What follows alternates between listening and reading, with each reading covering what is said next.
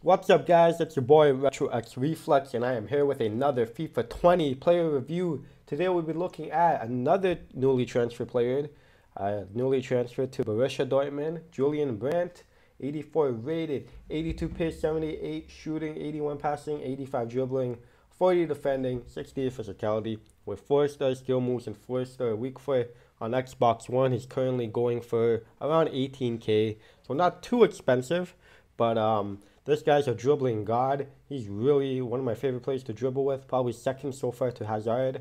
Keep in mind this is early access. I haven't been playing with a whole bunch of players, but it seems to be just below the high tier dribbling, which is really nice for an 84 rated player. Shooting wise, really good in the box. He's finishing with his left and right foot. And just to keep in mind, guys, this clip right here, it's during a friendly match. So, you know, 10 10 or some weird friendly game mode. Uh, that's not relevant though. Back to the review. Shooting wise, really good in the box. Left foot, right foot, really good in the box. His finesse shots are so great, so fun to use. He can definitely bang in the long shot. He has the potential to. Onto passing, that's his best stat. He is very, very good at passing, setting up a lot of my players, especially Jovic. He's been setting up Jovic like no tomorrow. Look at that through ball right there. Beautiful. Absolutely beautiful. Look at that strength he uses to push off his defender, and he still still gets the through ball his strength is really good, and I was really shocked by it.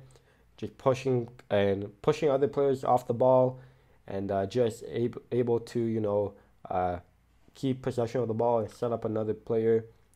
His pace is actually really good, 82 pace for a cam. That's really good in my opinion. Able to get up the pitch quick in positions like those, and he's able to finish it off very nicely into the bottom left corner. Really good, complete player in my opinion. Uh, very underrated player. A lot of people will use him over uh, Havertz over him, which I don't blame. I haven't used Havertz yet, but seems to be the better card. But this guy's really good. You can put both of them in a squad.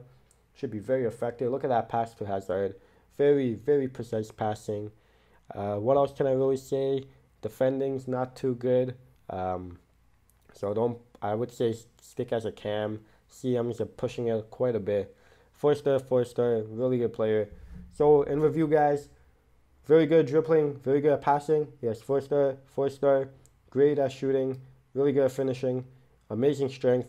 Only cons, I didn't talk about these too much, but his stamina is really bad by the second half. It's on yellow. Uh, it sucks, but you know, it. I don't know why it's so low. I guess because I'm playing in a narrow formation, playing through the middle a lot. Uh, he's just running back and forth as well as the heading, he's not going to win a lot of aerial balls in the midfield, those midfield battles. So that's unfortunate as well. But besides those two uh, negatives, he's a really great player. Definitely, definitely recommend you guys pick him up for your Bundesliga starter teams. I'm going to be giving him a 90 out of 100. Him Jovic has been my most productive players so far. Uh, Sancho's really good, but he's not as productive as them. Maybe because I'm playing him out on the wing, and I'm better playing through the middle in this game. But uh, we'll talk about Sancho another day. But that's Julian Brandt, his teammate. Really great player. Definitely re- recommend you guys picking him up. Not too expensive, less than 20k. So definitely, uh, you know, give him a try. You won't regret it. It's been your boy Retro X Reflex. Thank you for watching this review. Please like and subscribe if you haven't already. Let me know if you want me to review anyone in particular. I'm open to any suggestions. Uh, and yeah, guys, I'll see you in the next video. Peace.